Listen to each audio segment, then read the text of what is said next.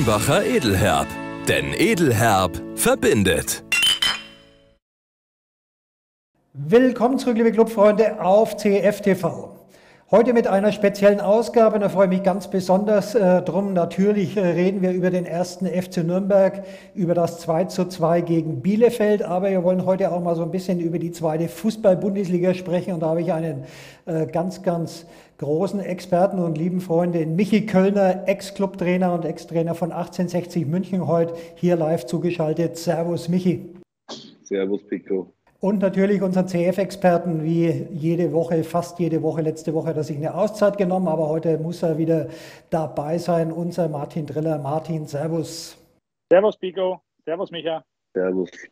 Der Clubtalk wie immer präsentiert von unserem Partner Kulmbacher und ich würde sagen, wir steigen gleich mal ein ins Geschehen des ersten FC Nürnberg in der zweiten Fußball-Bundesliga. Wie gesagt, ein 2 zu 2 gegen Bielefeld. Äh, der Club äh, ja, in der ersten Halbzeit wieder ein ganz anderes Gesicht gezeigt. Man hat schon wieder gedacht, da gibt es eine auf die Nase. 2 zu 0 relativ schnell.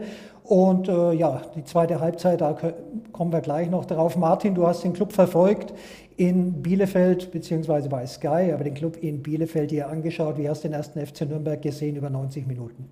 Ja, ich muss sagen, ich bin immer noch entsetzt, äh, dass man nach dem Spiel äh, so ein 2-2 äh, feiert. Wir haben gegen den Viertletzten der zweiten Liga gespielt und feiern ein glückliches Unentschieden in der 97. Minute durch einen glücklichen Elfmeter.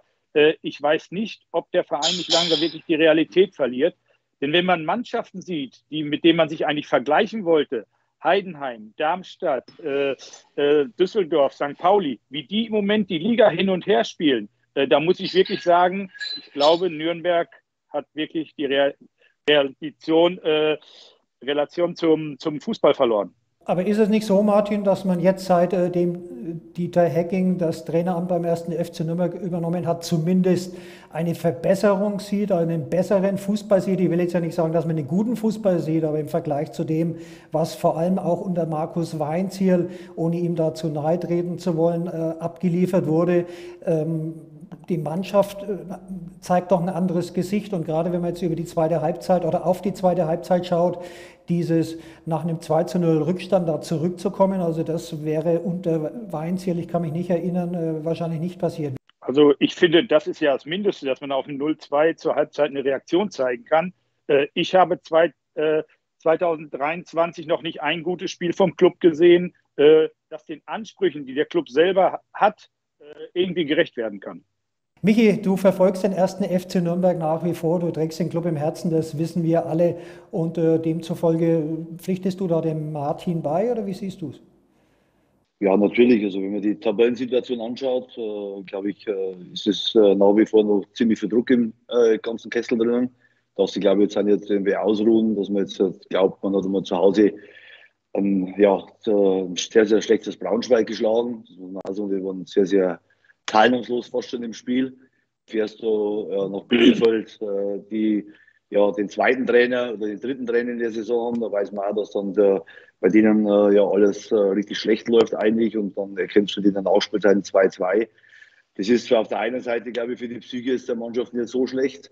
Also sagst du, kommst noch 0-2 auf der Alm nochmal zurück, weil ich glaube, das ist schon ein, ein schwieriges Stadion. Auf der anderen Seite aber äh, muss man trotzdem so die, was Martin auch gesagt die Realität erkennen. Bielefeld spielt eine, als Absteiger aus der Bundesliga, muss man wohlgemerkt sagen, eine miserable Saison. Äh, und du kommst da mit einem blauen Auge weg, dass du 2-2 spielst. Äh, ich glaube, das muss man schon, äh, ich glaube, hat der Club trotzdem die Verantwortung, ich glaube, wir werden das schon auf dem Schirm haben. Und am Ende wird es schon darum gehen, die Länderspielpause gut zu nutzen, weil dann kommen nochmal einige knackige Spiele nochmal auf dich zu und dann wird sich, glaube ich, dann so drei, vier Wochen nach der Länderspielpause dann konkret zeigen, wer hat es geschafft, neben St. Pauli, äh, die aus dem äh, Winter furios rausgekommen sind, die waren Vorletzter, äh, glaube ich, wenn ich mich richtig entsinne in der Winterpause, die jetzt auf Platz 5 stehen. Karlsruhe war lange im Abschiedskampf, hat sich rausgekämpft. Fürth ist so ja fast äh, komplett raus jetzt aus dem Abschiedskampf. Äh, und jetzt äh, geht es darum, wer ist die nächste Mannschaft? Äh, ist es der Club? Ist es vielleicht Magdeburg? Ist es vielleicht Regensburg, die am Ende die Abschiedszone verlassen? Und das wird am Ende eine spannende Frage sein und natürlich auch, wer kommt am Schluss noch unten mit rein. Und da ist Hannover bewirbt sich momentan sehr eindrucksvoll darum, dass die äh, am Ende wieder äh, ja, in das hintere Drittel unbedingt mit rein wollen und äh, das, äh, äh, das Konzert, das da hinten momentan sich die Abstiegsplätze momentan besetzen, dass die sich darum bemühen, dass sie auch dabei sind.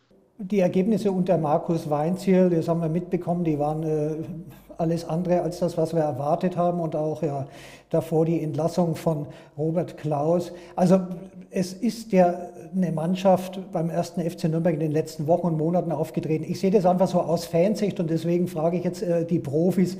Ähm, ich sehe schon eine Veränderung, muss ich ganz ehrlich sagen, vom Auftreten her der Mannschaft. Vor allem sehe ich so wieder ein bisschen eine Mannschaft, die auf dem Platz steht. Da haben wir uns auch in den letzten Wochen jetzt auch mit äh, Chris Biechele und mit Martin ja sehr, sehr oft drüber unterhalten. Und ich liege da mit meiner Meinung natürlich immer daneben, aber ich maße mir das jetzt auch nicht an, da der Experte zu sein. Deswegen frage ich euch ja auch und lade euch in die Sendung ein, um eben eine Expertenmeinung zu bekommen. Chris und Martin sind der Meinung, der Club hat mit dem Abstieg Bundesliga auf jeden Fall nichts zu tun. Aber siehst du den Club eigentlich ernsthaft gefährdet, ähm, tatsächlich äh, in der zweiten Liga, vielleicht sogar noch unten im Abstiegskampf da richtig reinzukommen? Ja, Gefährder bist du immer noch. Also ich glaube, das wäre jetzt fatal, wenn du hergehst und sagst, jetzt haben wir ein paar Spiele gewonnen oder zumindest die Heimspiele gewonnen. Auswärts gab es ja äh, nach wie vor äh, in Hamburg nichts zu holen, in, in Bielefeld jetzt einen glücklichen Punkt äh, am Schluss. Äh, glaube ich schon, äh, werden die nächsten paar Wochen einfach dann für den Club entscheidend sein, äh, wo die Reise hingeht am Ende. Wirst du dann dich äh, ja, äh, in der Tabelle noch ein paar Plätze nach vorne arbeiten, was sicherlich jetzt für, das, für die äh, Fernsehgoldtabelle natürlich ganz, ganz wichtig wäre, dass du noch ein paar Plätze nach oben kommst, weil da macht jeder Platz macht da trotzdem recht sehr viel Kohle aus und äh, ich glaube, das ist äh, schon äh, für die Verantwortlichen ein Anspruch, für die Mannschaft glaube ich eher weniger. Da fühlt man sich jetzt dann nicht so richtig mitgenommen, glaube ich, als Spieler äh, ob man jetzt ein 8., 10. oder 12. ist, sondern da ist die Saison am Ende gelaufen. Auf der anderen Seite äh, sprechen einfach die Fakten äh, eine klare Sprache. Also du hast äh, den zweiteuersten Kader in der Liga, äh, du hast äh, zehn Stürmer im Kader, du hast auf der anderen Seite nur ein Spiel mit über zwei Tore erzielt. Also Fürth war die einzige Mannschaft neben dem Club, die noch nie drei Tore geschossen hat in der Saison. Das haben sie jetzt zu Hause gegen Magdeburg geschafft. Also da sprechen schon ein paar Fakten dagegen. Auf der anderen Seite, wie gesagt, in den Spielen jetzt, äh, so jetzt gegen Braunschweig, äh, gegen direkte Konkurrenten ne, aktuell, äh, hat der Club jetzt praktisch unter Hacking gewonnen, gepunktet, aber am Ende geht es trotzdem darum, jetzt ja, Stabilität reinzubekommen, auch in den Ergebnissen. Und da wird sich zeigen, also am Ende, weil die Situation natürlich nach dem Trainerwechsel von Markus Weinzel und Dieter Hecking ist für die Mannschaft auch was Besonderes. Der, Manager, also der Sportvorstand ist zugleich Trainer. Das ist, äh, löst im ersten Moment, glaube ich, eine unheimliche Bringschuld äh, hervor bei den Spielern. Aber die Bringschuld dauert auch nicht acht Wochen oder zehn Wochen an. Das muss man sich einklar sein. Sondern die Bringschuld ist ein kurzzeitiger Effekt. Und jetzt geht es natürlich darum, äh, wie äh, entwickelt sich die Mannschaft jetzt auch mit einem neuen System. Also die Hacking lässt 4-3-3 spielen. Äh, anders als also Markus Weinzel es gemacht hat. Äh, wie kommen jetzt die Mannschaft Woche für Woche auch mit ihrem System besser klar, greifen die Auto Automatismen besser. Dann glaube ich, hat der Club mit dem Abstiegskampf nichts zu tun. Äh, aber wird in den nächsten Wochen passiert da inhaltlich sehr, sehr wenig. Äh, dann glaube ich, äh, muss man sich schon trotzdem darauf einstellen, dass das äh, auf jeden Fall nur die nächsten paar Wochen ähm, ein zäher und vor allen Dingen harter und glaube ich, ein unattraktiver Kampf wird um Punkte. Zäh ist es beim ersten FC Nürnberg seit Wochen, wenn nicht seit Monaten und äh, attraktiven Fußball sehen wir, glaube ich, auch schon lange nicht mehr. Da habe ich zuletzt, ja, äh, ich stehe da mit meiner Meinung auch meistens alleine da, aber ich bin schon der Meinung, unter Robert Klaus hat man schöne, teilweise richtig schönen Fußball gesehen, aber gut, das ist meine Meinung, die habe ich scheinbar exklusiv. Äh, Martin, in der zweiten Fußball-Bundesliga, lass uns da ein bisschen drüber reden. Deine Paderborner, die schwächeln so ein bisschen und wenn man jetzt so äh, in die Tabelle schaut, lass mal ein bisschen nach oben schauen, bevor wir die äh, zweite Bundesliga so komplett so ein bisschen äh, diskutieren. Der HSV fängt jetzt auch schon wieder so ein bisschen an, äh, Punkte liegen zu lassen. Ist jetzt schon wieder der Zeitpunkt da, wo der HSV dann alles äh, verspielt? Und wie siehst du überhaupt so die Konstellation oben um den Aufstieg in die erste Fußball-Bundesliga in der zweiten Liga? Ja, ich glaube, dass, dass es oben richtig interessant ist, denn man sieht ja, dass diese Mannschaften, die da oben stehen, ist egal, ob man jetzt Darmstadt, Heidenheim, HSV, äh, St. Pauli, Düsseldorf. Das sind Mannschaften, die im Moment wirklich die Liga herspielen, wo auch wirklich Ergebnisse mit zwei, drei, äh, vier Toren Unterschied teilweise äh, zustande kommen. Da, da ist ein, ein Spielsystem, da ist Tempo, da ist Wille, da ist ja alles das, was beim Club überhaupt nicht zu sehen ist. Ich meine, das muss man ja einfach, wenn man die Spiele mal ein bisschen vergleicht, ja, und wir hatten ja diesen Anspruch, dazu zu gehören. Und wenn ich dann unseren Fußball sehe, wo äh, unsere beiden Innenverteidiger, nur weil sie am weitesten schießen können, äh, den Ball nach vorne prügeln, äh, dann tut es mir wirklich leid. Ich schimpfe ganz, ganz oft auf äh, Geis. Aber das war der Einzige, der in Bielefeld mal einen, einen Pass ins Mittelfeld oder flach nach vorne spielen konnte, der angekommen ist. Und das muss ich sagen, das hat er gut gemacht und der hat das Spiel ein bisschen in den Griff bekommen. Aber das, was wir vorher hinten rausgespielt haben, aus der Innenverteidigung, das war Kick and Rush aus den 90er Jahren. Das habe ich mit Jan Kotschian bei St. Pauli gespielt. Du sagst St. Pauli und St. Pauli äh, macht heute, äh, ja, reißt die Klappe auf, wenn ich es mal so formulieren darf, und sagt, äh, wir versuchen den HSV noch einzuholen. Draußen ist dem, äh, draußen ist St. Pauli zu als Ex Paulianer. Und ich meine, dem HSV kann man es immer zutrauen, weil, wie gesagt, zum Ende der Saison, das haben sie jetzt ja seit Jahren eindrucksvoll bewiesen, äh, verstolpern sie dann letztendlich den Aufstieg. Aber traust du St. Pauli zu, wirklich die Punkte, also ich glaube, es sind acht oder neun, die da aufzuholen sind, dass sie das noch schaffen? Das weiß ich nicht, ob sie es schaffen. Das ist wirklich schwierig. Aber sie haben natürlich auch noch das Derby gegen den HSV, was dann natürlich äh, wirklich den Vorsprung verkleinern könnte. Äh, der HSV hatte jetzt natürlich äh, das Spiel gegen Kiel. Äh, die Kieler hatten, glaube ich, bis jetzt haben gar, noch gar nicht beim HSV verloren, seitdem äh, sie zusammen ja zwei Liga spielen. Das äh, ist ein Derby, das war ein anderes Spiel. Aber der HSV hat in den letzten Wochen eigentlich auch abgeliefert, hat, ist nach dem 0-3 zurückgekommen ist aber wirklich, da ist Action. Und wenn man wirklich diese Mannschaft sieht, St. Pauli äh, gewinnt auswärts 5-0, äh, Düsseldorf gewinnt in Rostock, äh, das sind alles Ergebnisse. Heidenheim, äh, nach 0-2 kommen die zurück, äh, machen ein 5-2 daraus. Das, das ist Wille, das ist äh, pure, pure Kampfkraft, das ist Entschlossenheit. das ist alles das, was beim ersten FC Nürnberg im fehlt. Und da muss ich sagen, bin ich immer noch enttäuscht über das Jahr 2023 und da nehme ich das ganze Jahr. Und da sehe ich im Moment noch nicht wirklich eine Verbesserung äh, in der Mannschaft. Da muss noch ganz, ganz viel kommen, um nur ungefähr an die äh, Ergebnisse ranzukommen, die man sich vor der Saison vorgestellt hat. Michi, äh, Martin hat es angesprochen, Heidenheim, und es ist fast jede Woche bei uns ein Thema.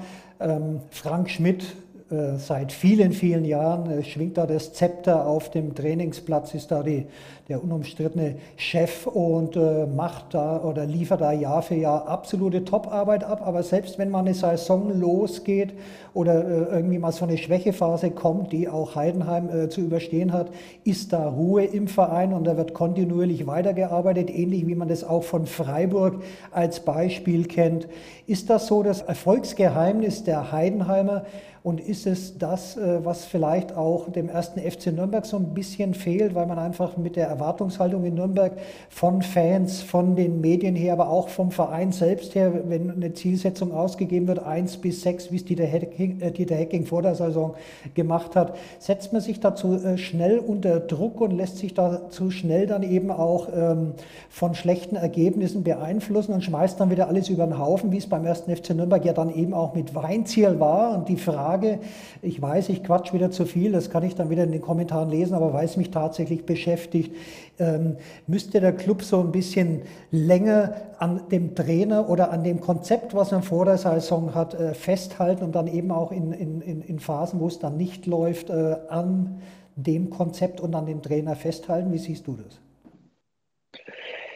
Ja, das ist natürlich äh, schon eine sehr komplexe Frage. Ich glaube, dass grundsätzlich jetzt, wenn man Heidenheim äh, mal als, als, als dann gewähltes Beispiel mal nimmt, ich glaube, dass Heidenheim nicht unbedingt äh, äh sich äh, äh, einzig und allein an der Tabelle abbildet äh, im Innenleben. Ich glaube, dass Heidenheim sich abbildet, welche Spieler schaffen bei uns den nächsten Schritt, welche Spieler entwickeln sich bei uns, wie können wir eine Mannschaft einbauen, aufbauen und dann auch wieder verändern äh, Jahr für Jahr. Und äh, dann glaube ich, äh, wenn, du, wenn du mehr Parameter hast, nur die Tabelle, am Ende äh, ja, ein Zwischenstrich, wenn du mal ziehst, äh, ein Fazit, wenn du ziehst, da unter der Saison leichter. Also wenn du nur hingehst und sagst, so, wir sind jetzt halt, in den letzten vier Spielen verloren oder von den letzten vier Spielen nur zwei Punkte geholt, ja, sondern ich glaube, dass in Heidenheim äh, kontinuierliche Arbeit auch damit, darüber bewertet wird, äh, wie entwickeln sich die Spieler, wie entwickelt sich der Kader. Und wenn man da hinschaut, dann muss man einfach sagen, die machen einen sehr unaufgeregten Job, aber deswegen auch, weil sie äh, in ihren Schwächephasen natürlich schon äh, das grundsätzliche große Ganze sehen. Und das ist einfach, wo, kann, wo können unsere Spiele hin, hinkommen. Und wenn du jetzt Kleindienst anschaust, zum Beispiel, der jetzt die Liga äh, fast dumm und deppert schießt, ja, auf gut bayerisch, äh, das ist eine Entwicklung des Spielers, äh, das die, die Verantwortlichen sicherlich gesehen haben und, äh, und äh, die haben jedes Jahr Stürmer abgegeben, super Stürmer abgegeben und trotzdem schaffen die das wieder, neue Spieler die Zeit zu geben. Und das ist natürlich das Problem jetzt bei äh, anderen Vereinen. Ich will jetzt nicht unbedingt so bei größeren Vereinen, weil das wird jetzt Heidenheim, glaube ich, nicht unbedingt, äh, glaube ich, gerecht werden. Heidenheim ist ein etablierter Zweitligist. Äh, das hat sich äh, vor Jahren äh, wahrscheinlich keiner so recht vorgestellt, dass Heidenheim mal eine feste äh, Größe in der zweiten Liga ist mit Tendenz zur ersten Bundesliga. und und die Leute, das ein kleiner Zirkel, äh, wenn die die Verantwortlichen, ich glaube, das ist auch ein Erfolgsgeheimnis, äh, wenn du nach Freiburg gehst, wenn du nach Heidenheim gehst, da sind nur ganz, ganz wenige Leute mit den ganzen Themen beschäftigt, äh, entscheiden kurze Wege. Und am Ende äh, wirst du immer bei denen feststellen, da passt zwischen den Verantwortlichen kein Blatt Papier rein. Und das, glaube ich, ist immer bei großen Vereinen oder bei anderen Vereinen das große Problem. Viele Leute, äh, jeder äh, gibt anderen Gehör äh, jeder andere lässt sich auch treiben von Social Media, von äh, Kommentaren. Die fühlen sich dann, dann persönlich aufgerufen, jetzt dann irgendwo äh, was zu machen und äh, dann aus diesem Aktionismus heraus entscheiden, äh, werden am meisten Dinge vorangetrieben, die für, das, für den Verein selber, glaube ich, nicht äh, unbedingt das Beste sind. Und äh, wie gesagt, Heidenheim ist beeindruckend, äh, muss ich wirklich sagen. Ich habe den Sommer gesehen, äh, in der, äh, eines ihrer letzten Vorbereitungsspiele gegen Dynamo Dresden in Österreich im Trainingslager ich hätte nicht ansatzweise gedacht, dass die Mannschaft, so wie sie da aufgetreten ist, äh, dass die äh, in der zweiten Liga äh, konstant oben mitspielen wird. Aber da sieht man auch, was Entwicklung in der Saison ist, was auch Martin vorher angesprochen hat, was Entwicklung in der Saison, was das Ende machbar ist, wenn du Woche für Woche kontinuierlich mit deinen Spielern, an deiner Spielidee, an deiner Art und Weise, wie du auftrittst, an deiner ganzen Qualität am Ende arbeitest, dann kommst du einfach Schritt für Schritt voran und jetzt sieht man bei Heidenheim eindrucksvoll, äh, die, die juckt der 0 zu 2 gegen Karlsruhe zu Hause gar nichts und die gewinnen. Äh, die spielen nur äh, ja, äh, gefühlt locker mit 5 äh, zu 2 und sind dadurch natürlich auch neben äh, Darmstadt eine der konstantesten Mannschaften in der Liga über die komplette Saison betrachtet. Und das wird auf jeden Fall spannend sein. Das macht ja das Schöne in der zweiten Liga aus. Wer wird am Ende die Plätze 1 und 2 belegen? Wer muss in die Relegation? schafft es Düsseldorf am Ende nach der Länderspielpause im eigenen Stadion, da sind sie in der Macht, den HSV zu schlagen. Dann sind die vier Punkte am HSV dran. Äh, also da sind in den nächsten Wochen so viele tolle Dinge äh, am Ende zu beobachten und äh, man wird sehen, wo die Reise hingeht. Aber eins ist auch klar, Kontinuität, Stabilität sind Faktoren im Fußball, die man auf der einen Seite nicht übertreiben darf, weil wenn es nicht passt, dann passt es halt nicht mehr. Aber auf der anderen Seite, glaube ich, einen Plan zu haben, äh, mehrere Parameter festzulegen für Erfolg, sei es auch äh, Transfererlöse, sei es äh, junge Spieler zu entwickeln, eine Identität aufzubauen, eine Identifikation aufzubauen. Wenn man, glaube ich, sich mehrere solcher Themen verschreibt und die dann am Ende auch kontinuierlich beobachtet und an den Themen feilt, dann glaube ich, ist man davon gelöst, davon, dass man sagt, ja, jetzt haben wir da mal vier Spiele nicht unbedingt äh, super performt, die Punkte nicht geholt, aber ja, alle anderen Parameter passen, dann kommt der Erfolg automatisch wieder. Und das siehst du bei Martin Gott Düsseldorf die vor drei Wochen oder vor vier Wochen in Fürth gesehen, live im Stadion. Haben die sang- und klanglos Gefühl verloren. Äh, so ein Auswärtsbild gezeigt, die können vorne nicht dabei sein. Aber schaffen das jetzt auf einmal in den letzten paar Wochen, diese, dieses Auswärtsbild äh, ja, äh, wegzubringen und auch auswärts zu Hause aufzutreten, führen ganz, ganz schnell 2-0 in Rostock da musst du erst einmal schnell 2-0 führen und dann legen äh, noch ein 3-0 vor der Halbzeit noch. Da muss man sagen, die sind jetzt auf dem Weg, anscheinend ihre Auswärtsmentalität zu verändern. Da werden die sicherlich noch ein heißer Kandidat sein, der am Ende äh, ja, zumindest versucht, an die vorderen drei Mannschaften ranzukommen. Ob sie schaffen, der Punkteabstand ist schon relativ groß, aber äh, im Fußball gibt es viele Dinge, sowohl nach oben als auch nach unten, äh, die am Ende immer möglich sind. Martin, die zweite Fußball-Bundesliga, da spielen mittlerweile Vereine, die äh, vor ein paar Jahren äh, eigentlich undenkbar äh, gewesen wäre, dass die in der zweiten Liga rumtümpeln, wie der HSV eben auch seit vielen, vielen Jahren. Ich will jetzt gar nicht über den Club sprechen, Schalke 04 letztes Jahr. Und wenn man jetzt so in die erste Fußball-Bundesliga schaut, Stuttgart als Tabellenletzter, äh, vielleicht dann auch in der kommenden Saison äh, willkommen in der zweiten Fußball-Bundesliga. Und dann siehst du in der ersten Liga Vereine, ähm, wo eigentlich wenn überhaupt äh, Zweitligisten, ganz klare Zweitligisten waren und äh, wie man ja auch gerade, wie Michi gerade eben auch gesagt hat, mit Heidenheim der nächste Anwärter, der auf lang oder kurz mit Sicherheit auch nach oben stoßen wird und dann vielleicht, wer weiß, äh, auch sich etablieren kann in der Liga. Was ist da genau passiert? Und ähm, scheinbar hat ja das alles nicht immer nur was mit Geld und Kohle zu tun. Ja, ich denke, dass das, man kann jetzt die letzten 20 Jahre zurückgehen. Äh, viele Traditionsmannschaften sind auch in der dritten Liga gelandet. Äh, sagen, Tradition alleine äh, berechtigt nicht in der ersten Liga zu spielen oder in der zweiten Liga zu spielen. Es ist natürlich ein kontinuierliches Arbeiten äh, der Köpfe des Vereins. Ja? Äh, man muss äh, trotz alledem Geld ran schaffen. Man kann nicht nur in Nostalgie leben oder so wie wir in Nürnberg von unseren alten neun deutschen Meistertiteln plus den zehnten, die die Ü40 geholt hat. Ne, den darf man natürlich nicht vergessen.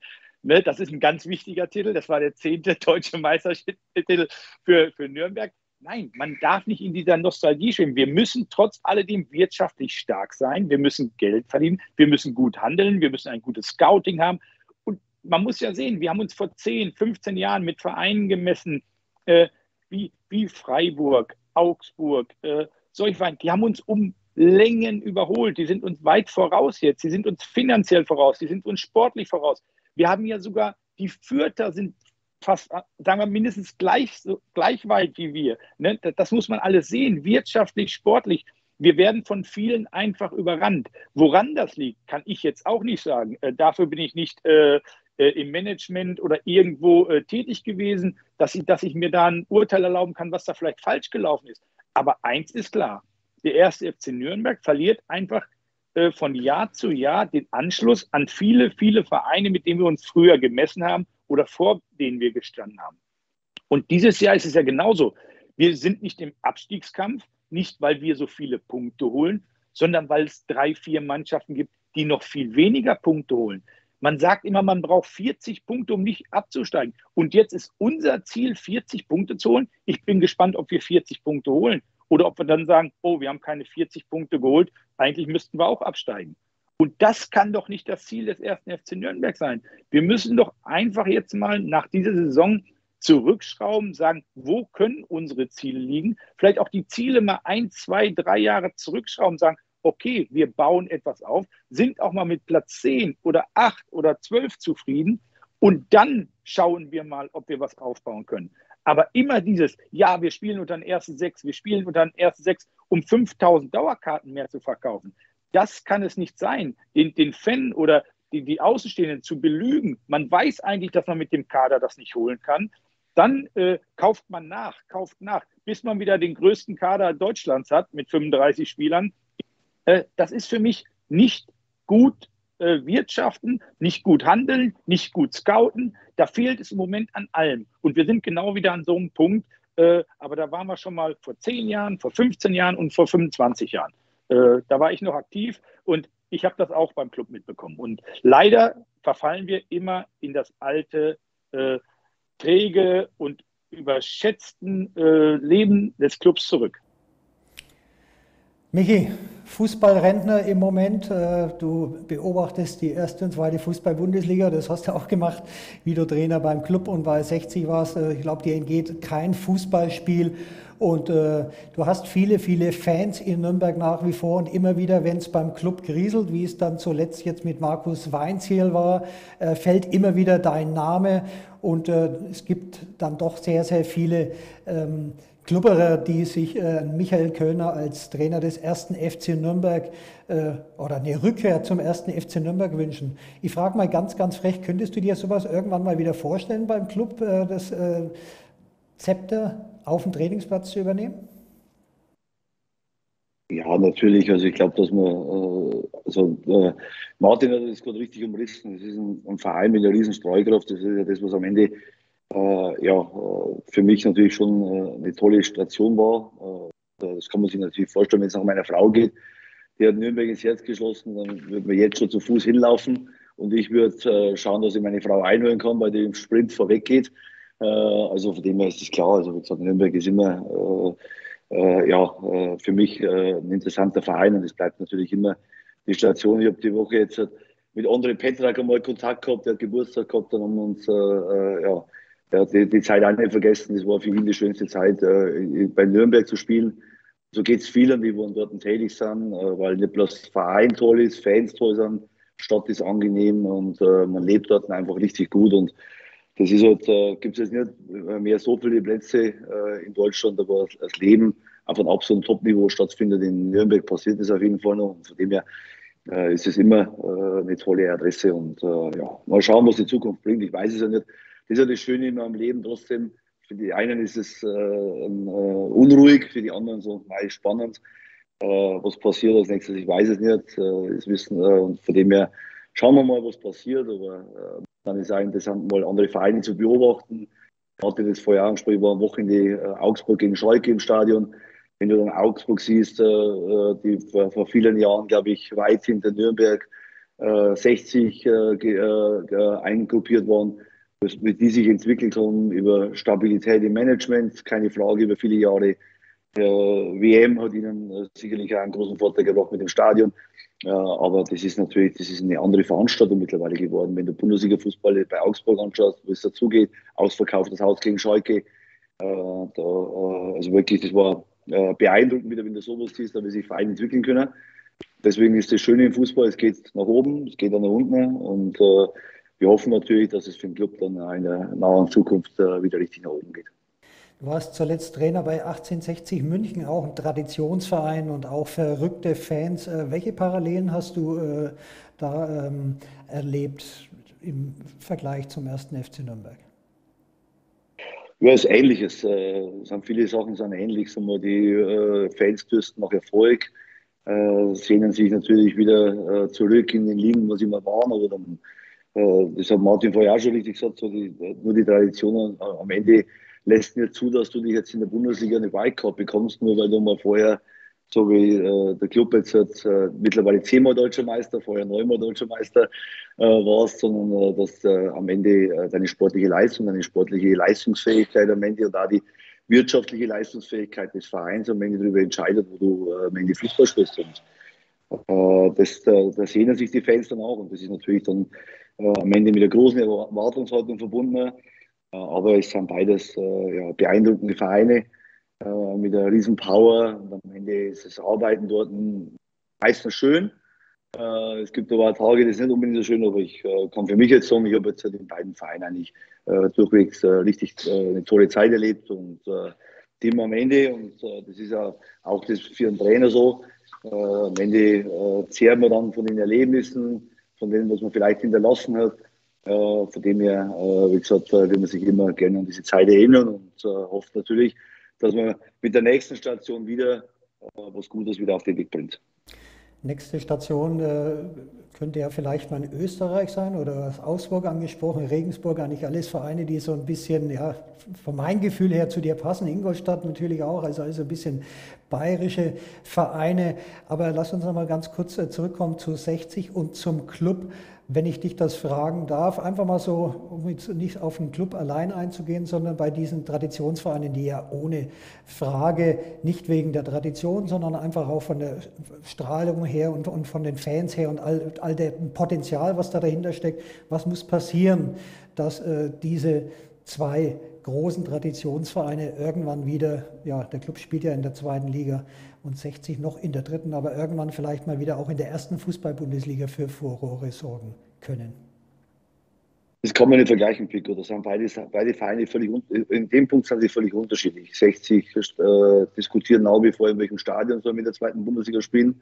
Es gibt aktuell kein äh, Stadion in der zweiten Bundesliga, das äh, zugelassen ist bei der DFL. Das zweite ist, äh, 60 München ist ein ausgegliederter Verein mit einem äh, arabischen Investor. Ähm, da ist 50 plus 1 natürlich dann Fluch und Segen für den Verein, äh, weil die Entscheidungen dann am Ende ja vielleicht nicht so äh, vonstatten gehen können, als es in anderen Vereinen ist. Äh, Nürnberg Der Club ist ganz anders wieder äh, mit einem großen Stadion, das sicherlich aber äh, den einen oder anderen trotzdem nicht gefällt, mit Tarzanbahn. Äh, vielleicht im, im, im, äh, in der ganzen Vermarktung des Stadions man sich vielleicht mehr ein Fußballstadion wünschen. Dazu kommt natürlich eine Struktur mit Aufsichtsräten, die natürlich von Mitgliederversammlung gewollt werden müssen. Es ist immer die Frage, das stellen sich, glaube ich, viele Vereine und das stellen sich auch der DFB, ist sowas am Ende in diesen ja, in dieser Welt, das, äh, wo viel Kohle bewegt wird, äh, Profifußball, was sich enorm entwickelt hat, jetzt, was äh, medial betrifft, was Marketing betrifft, was Finanzströme, Geldströme betrifft, ist es noch zeitgemäß, da mit ehrenamtlichen Entscheidungen, Entscheidern zu arbeiten, zu leben. Ja, das sind Herausforderungen, die jeder Verein für sich selber beantworten muss. Und äh, ich glaube, dass äh, am Ende manche Vereine in den letzten Jahren das geschafft haben, gute Entscheidungen zu treffen. Äh, das sieht man jetzt in, in Freiburg mit dem neuen Stadion äh, gehen nach Gladbach, äh, die ja vor ein paar Jahren von der Zerreißprobe gestanden haben. Äh, am Ende trennen wir uns von dem Bökelberg. Äh, da gab es eine, eine, zwei Fraktionen, die in unterschiedliche äh, Richtungen gezogen haben und am Ende äh, haben sich für irgendwas entschieden. Man ist kontinuierlich dann dran geblieben und am Ende war der Verein wieder in der Champions League. Also es geht in alle Richtungen schnell und wer sich erinnern kann, äh, unter Favre waren wir schon mit äh, gefühlt vier Beinen in der zweiten Liga damals gestanden. Äh, es geht in alle Richtungen schnell. Fußball ist da, äh, das haben die Türen offen.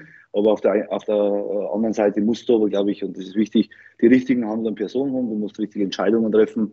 Und deswegen, glaube ich, tut man sich immer schwer, oder sollte man dann auf jeden Fall nicht tun, dass man die Vereine vergleicht und sagt, ja, bei dem einen Verein ging es so, dann muss er bei dem anderen Verein auch so funktionieren, sondern jeder Verein ist individuell äh, und äh, jeder hat seine äh, speziellen Herausforderungen äh, die er sich stellen muss. Ich glaube, äh, Nürnberg, äh, der Club stellt sich der, der Situationen immer wieder mal, aber Martin hat auch gesagt, man hat schon das Gefühl, man kommt immer wieder an den gleichen Punkt wieder zurück und sagt, den hat man doch eigentlich schon mal erlebt. und nicht bloß einmal, sondern mehrmals und immer wieder ist man wieder an diesen Punkt angekommen. Ich glaube, ich hoffe natürlich, dass dann es irgendwann mal gelingt, über diesen Punkt hinauszukommen wird wieder im Kreisverkehr, also gefühlt wieder an der, an der, an der dritten Abfahrt zu stehen und sagen, wo fahren wir jetzt hin? Ja, fahren wir nochmal im Kreis eine Runde weiter. Äh, und äh, das ist, glaube ich, die ganz große Herausforderung äh, in dieser großen Gemengenlage des Fußballs und da meine ich ja die, alle Vereine, dass man dann den Überblick behält, strategisch denkt, für sich einen Plan hat über viele, über einige Jahre. Also für viele ist, glaube ich, schwierig, aber über einige Jahre, also was ist unser Ziel in den nächsten Jahren, in drei Jahren, in fünf Jahren, und wenn man dann vorangeht mit einer äh, guten Kaderplanung, äh, mit einer werthaltigen äh, Kaderstruktur, dann glaube ich, geht es im Fußball ganz, ganz schnell. Und denk zurück, also ich bin jetzt noch nicht 100 Jahre alt, ich bin jetzt seit vor vier Jahren vom Club weg und äh, sind viele Trainer gekommen. Aber schau, lass uns mal zurück, jetzt Union Berlin war damals hinter uns. die haben auch damals das Ziel gehabt, aufzusteigen. Wir sind vor denen aufgestiegen und vielleicht die bessere Mannschaft damals schon gehabt. Aber jetzt schauen wir hin, wo die jetzt in der Bundesliga steht äh, in drei Jahren später. Also im, im gleichen Stadion noch, äh, aber mit einer unheimlich schlauen, äh, Nachhinein schlauen, weil ich im Vorfeld, habe ich das auch nicht so erwartet, äh, mit dem Kader äh, den so zu planen und am Ende äh, stehen die vorne dabei und schau Eintracht Frankfurt an.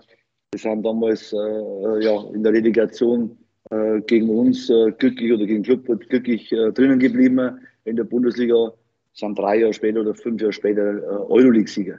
Also du siehst, es geht vieles, es ist vieles möglich im Fußball, aber man muss da trotzdem konstant und kontinuierlich dranbleiben, muss einen Plan haben äh, und äh, den Plan aber dann auch mit äh, aller Akribie und mit aller Hartnäckigkeit am Ende dann auch verfolgen.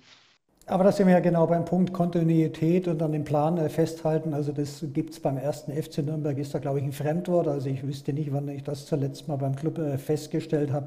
Martin, ähm, der Club letztendlich ähm, ein Traditionsverein und du hast es vorhin gesagt, äh, von der Tradition kannst du, nix, äh, kannst du dir nichts mehr kaufen. Siehst du den ersten FC Nürnberg auf lang oder kurz wieder in der ersten Fußball-Bundesliga? Oder ist es einfach Wunschdenken, weil wir das, was wir ja heute auch äh, ausgiebig jetzt diskutiert haben, die anderen Vereine wie Heidenheim und wie sie alle heißen, den Club einfach mittlerweile um, um, um Längen eingeholt haben und äh, eigentlich das mehr ein Wunschdenken ist und vielleicht muss man sich auch damit langsam abfinden, dass man sagt, okay, sei froh, wenn in der zweiten Fußball-Bundesliga, die ja auch eine gute Liga ist und ja scheinbar auch immer stärker wird, weil es immer mehr große Vereine runterrasselt, ähm, dass du in der Liga vielleicht ein fester Bestandteil bist und musst dich damit zufrieden geben. Das weiß ich nicht. Wie gesagt, der Michi sagt ja, es kann alles ganz schnell gehen. Man braucht nur einmal äh, die richtige Planung, äh, den richtigen Kader, den richtigen Trainer dazu. Dann kann das alles ganz schnell gehen. Aber entscheidend ist doch, dass wir nach dieser Saison wieder feststellen müssen, Ziele nicht erreicht, Kader viel zu groß, viel zu viel Geld ausgegeben. So, also müssen wir wieder jeden Stein umdrehen, gucken, was machen wir besser. Jetzt müssen wir aus 35 Spielern die wir ja im Moment im Kader haben, müssen wir schauen, dass wir äh, die Leihspieler, die werden vielleicht gehen, ein paar Jugendspieler, die es äh, nicht geschafft haben, werden vielleicht abgegeben in die dritte Liga, ausgeliehen, wie auch immer. Aber wir müssten ja eigentlich, um einen wirklich richtig neuen, komplett strukturierten Kader aufzubauen, der dann sagt, pass auf, wir machen einen Neustart, müssten ja 20 Spieler gehen und dann kann man 10 wiederholen und mit 25 weitermachen. Äh, das ist eine Mammutaufgabe und ich weiß nicht, äh, wer die im Moment übernehmen soll, wenn man sagt, die Kaderplanung die letzten drei Jahre war nicht so, wie man sich vorgestellt hat. Dann weiß ich nicht, wer das im Moment machen soll. Ja, da, da hat ihr völlig recht. Also ich glaube, dass das die entscheidende Frage sein wird in, in der nächsten Zeit, äh, dass man mit welchem Kader gehst du dann in die neue Saison. Äh, sofern du die Saison jetzt musst du erst schon mal schauen, dass du die Saison noch gut überstehst. Äh, so mal so aus allen Sorgen bist du nicht ledig und äh, das ist immer die, äh, die Schwierigkeit. Ich habe das ja damals auch erlebt, äh, äh, wie ich damals übernommen habe. Die Schwierigkeit, du bist in der Saison und musst aufpassen, dass vielleicht hinten reinrutscht. Dann haben wir damals zum Glück die Spiele gegen Bielefeld, Karlsruhe zu Hause, die alle mit uns direkt mehr oder weniger hinter uns waren. Die konnten wir zum Glück alle gewinnen und haben dann am Ende dann das Polster gehalten. sind aber am Schluss dann trotzdem nochmal abgerutscht. Und nächsten, das meine ich mit, mit den Spielern interessiert es dann nicht unbedingt eine TV dabei äh, und dann rutscht den letzten Spiel nochmal ab. Und trotzdem musst du es schaffen, parallel am Ende an der Struktur für die nächste Saison zu arbeiten. Und das, glaube ich, ist die, die größte Herausforderung, äh, äh mit ja, guten Deals am Ende dann auch ein paar Spieler abzugeben, ein paar Spieler zu holen. Viel verändern kannst du in einem Transferfenster eh nicht, weil dir auf der einen Seite das Geld fehlt, auf der anderen Seite die Vertragssituationen in der Regel ja nicht so offen sind dass du sagst, ja, es laufen 15 Verträge aus und jetzt können wir 15 Spieler holen und äh, 15 äh, wegschicken. Ja, und das ist natürlich dann wirklich äh, eine, eine, super Aufgabe, am Ende dann an den entscheidenden äh, äh Bausteinen in, in, der Mannschaft da, da ranzugehen und die am Ende dann auch so nach vorne zu bringen, dass am Ende die Mannschaft dann ja, gefüllt ein anderes Gesicht zeigt. Und das, wenn du schaffst, wie gesagt, dann bist du gleich wieder vorne dabei. Aber äh, Martin hat völlig recht, das ist natürlich eine der schwierigsten Aufgaben, äh, Kaderplanung äh, im Detail dann so hinzubekommen. Vor allen Dingen, wenn du nicht das, die Möglichkeiten hast, zu sagen, ja gut, da kommt jetzt hier einer, der gibt ja 50 Millionen äh, und da kannst du es da mal dann rumvorwerken, äh, sondern am Ende ist es eher beim Club, da immer wieder kommst du in die, in die, in die in eine Phase rein, was dann heißt, wir müssen äh, den Gürtel ein bisschen enger schnallen. Äh, das geht momentan nicht so viel, es wird weniger und äh, wir haben uns eh schon äh, in den letzten äh, ein, zwei Jahren mehr Geld verbraucht, als wir eigentlich eingenommen haben. Also musst du dann ein Stück weit noch erfinderischer sein und äh, mehr dann äh, andere Wege gehen. Und äh, das wird auf, das wird darauf ankommen. aber äh, ist alles machbar und ich bin mir schon sicher, dass es am Ende auch man schaffen kann. Die erste Bundesliga, äh, da haben wir zwei Vereine jetzt äh, ganz unten, äh, zwei, zwei große Vereine vom Namen her, Schalke und Stuttgart. Ähm, also sollten die wieder, Schalke wieder und sollte Stuttgart runterkommen, wird die kommende zweite Liga mit Sicherheit nicht einfacher beim HSV, wie gesagt, müssen wir auch erstmal abwarten, ob der HSV wieder hochgeht. Also da hast du dann ja, wenn es ganz, ganz blöd läuft, schon wieder drei richtige Klopper in der Liga. Ähm, welche Vereine, Michi, siehst du ähm, zum Ende der Saison, also oder welche, wie, wie wird die erste Liga abschließen? Welche Vereine kommen runter und äh, welche Vereine gehen deiner Meinung nach hoch? Ist noch ein bisschen früh, mich würde es trotzdem interessieren. Ja, ist ein bisschen früh, weil mal, ähm, ich habe jetzt ja Schalke gesehen am Wochenende. Ich war vor zwei Wochen habe ich Stuttgart gegen Bayern gesehen im Stadion. äh, ich glaube schon, dass äh, viele Mannschaften am Ende äh, ja, äh, ihre Themen haben, aber äh, du musst trotzdem sehen, äh, Schalke ist seit der Winterpause defensiv enorm stabil. Äh, das war jetzt gegen Augsburg jetzt nicht unbedingt ein ansehnliches Spiel für einen, der neutral Fußball zuschaut, äh, aber es war am Ende so, Schalke haben wir das Gefühl, die wissen die Bedeutung der Saison, die wissen um die Bedeutung auch für den Verein, weil ich glaube, ein Abstieg für Schalke wäre fast ein K.O.-Schlag wieder für den Verein weil die natürlich auch finanzielle Themen mit sich rumtragen. Äh, Stuttgart äh, ist genau gegensätzlich, äh, gewinnen kaum ein Spiel und sind extrem harmlos in einer gewissen Art und Weise. Von dem her glaube ich, ist dann schon schwieriger, wie, wie soll sich jetzt dann diese Harmlosigkeit ändern nach der Länderspielpause, vor allen Dingen so wie Stuttgart jetzt, wenn du elf, zwölf Nationalspieler hast, die dann am Ende in der zwei Wochen weg sind, kommen dann wieder, dann sind sicherlich also Themen, die du nicht haben willst. Ein Trainer stellt einen Spieler nicht auf, der wird aber dann auf der anderen Seite die Nationalspieler. Also das bringt ja unheimliche Unruhe in diesen Verein rein. Äh, wie kann es das sein, dass der DFB einen Spieler nominiert, der bei uns äh, äh jetzt in der, in, in, der Länderspielpause in der zweiten Mannschaft in der Regionalliga spielen nicht soll? Also muss ich mal diese, diese äh, extremen äh, Pole mal vorstellen. Äh, und das wird natürlich schwer. Und auf der anderen Seite natürlich hat äh, Stuttgart noch eine Aufgabe, den DFB-Pokal zu erfüllen. Das ist für den Verein enorm wichtig, in Nürnberg zu gewinnen, damit die zumindest äh, über den Wettbewerb, über den Pokalwettbewerb, über das Halbfinale dann, das was zu erreichen gilt, am Ende auch äh, Stuttgart schaut, dass sie da zumindest noch positiv äh, auf, auf einen, anderen, einen, einen, anderen Wettbewerb am Ende die Saison noch abschließen kann. Und und ich bin gespannt, was Köln macht. Also ich muss wirklich sagen, es gibt äh, in der 18er Liga, also nicht in der 20er Liga, die dritte Liga ist der 20er Liga, in der 18er Liga habe ich jetzt in den letzten Jahren immer festgestellt, da rutscht am Schluss eine Mannschaft rein, die hat im März noch nicht gewusst oder im Februar, dass Abschießkampf auch gibt, dass man vielleicht noch absteigen kann. Und das hast du in der zweiten Liga mit Hannover äh, von zehn Spielen acht verloren äh, in dem Jahr. Köln ähnlich. Ähm, und wenn da die nächsten ein, zwei Spiele äh, der Trend so weitergeht, dann bist du auf einmal mittendrin. Dann dreht sich das Kopfkino, drei Punkte weg, vier Punkte weg vom Relegationsplatz. Und schau äh, nur am Club zurück, damals gegen Ingolstadt in der Relegation, da hat auch keiner ausgerechnet, Wochen vorher oder Monate vorher, wir haben mit dem Thema äh, eine direkte Berührung. Und am Schluss äh, geht es da bis in der Relegation bis zur allerletzten Sekunde, wirklich bis zur allerletzten Sekunde, dass du den, den Abschluss in die dritte Liga erleben musst. Gell? Und von dem her, wie gesagt, wird es schon spannend werden. Aber äh, Schalke glaube ich schon, dass sie die, sich hinten rausboxen. Äh, es wird äh, sicherlich jetzt auch, äh, Hoffenheim habe ich auch in Augsburg gesehen vor ein paar Wochen.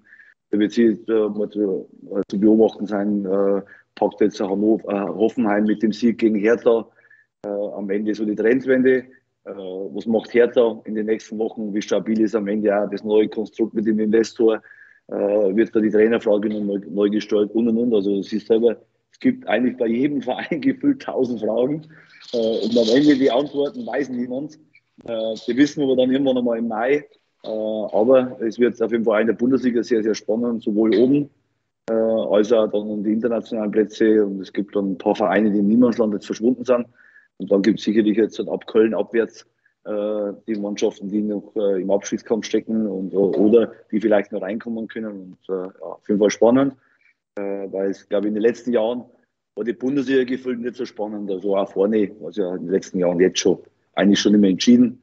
Bayern war Meister und die anderen haben dann Platz 2, 3, 4 ausgespielt. Und jetzt scheint es mal ein bisschen spannender zu werden.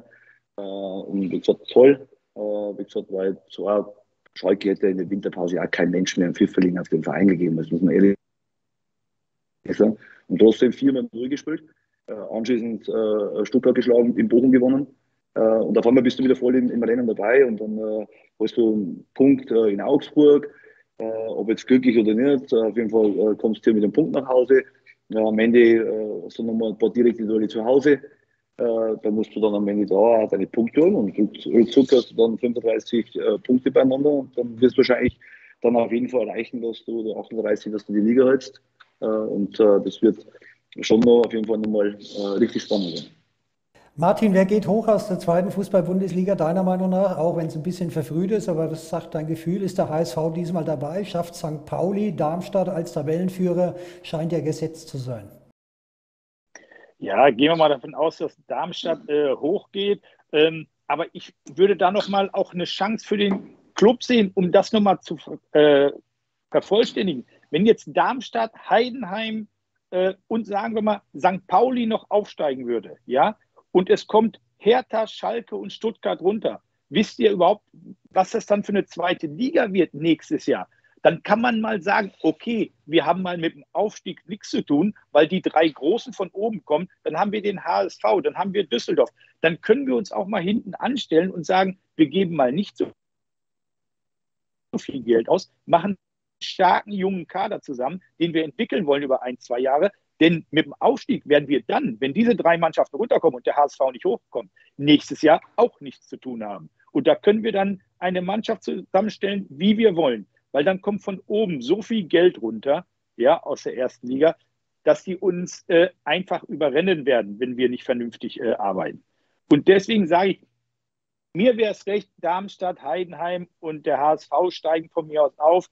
Aber man muss damit rechnen, dass drei Schwergewichte wieder runterkommen. Denn es sind viel, ist viel Tradition und Schwergewichte wirklich äh, am Ende der ersten Liga, die dann mit ganz, ganz viel Geld etwas zusammenstellen können, was auf jeden Fall wieder um die ersten drei Plätze spielt.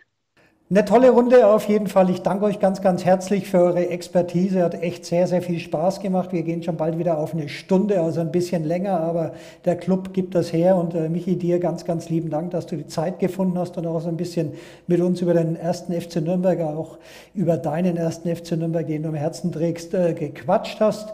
Ich drücke dir ganz, ganz fest die Daumen, dass äh, bald ein Verein anklopft, gibt dir Anfragen und dass wir dich dann bald wieder in der ersten oder zweiten Fußball-Bundesliga, in der ersten würde ich äh, mich natürlich sehr, sehr für dich freuen, aber vielleicht in der zweiten Liga dann gegen den Club wieder äh, sehen werden. Und äh, Martin, dir auch ganz, ganz lieben Dank und euch äh, ja eine tolle Woche und äh, dem ersten FC Nürnberg weiterhin ein einen Wind in den Segeln, dass es weiter aufwärts geht, dass wir mit dem Abstiegskampf nichts zu tun haben und dann hoffentlich, so wie wir es uns alle wünschen, eine bessere Zeit und eine bessere Saison dann in der kommenden Saison auf den Club zukommt.